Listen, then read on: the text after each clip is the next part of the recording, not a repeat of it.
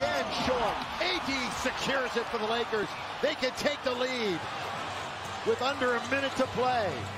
Monk Wow. deep down. Wow. He's got it. Lakers Wow. lead. Malik distance. Oh man, it went in, but